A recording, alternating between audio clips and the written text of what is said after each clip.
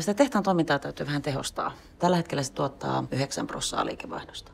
Hilaat sitä muutama pinnan ylöspäin, niin tämä voi olla sun. Tai- Tai siis tämän pöydän mä otan kyllä mukaan. Niin hommaat sit itse uuden. Joo, tietty joo.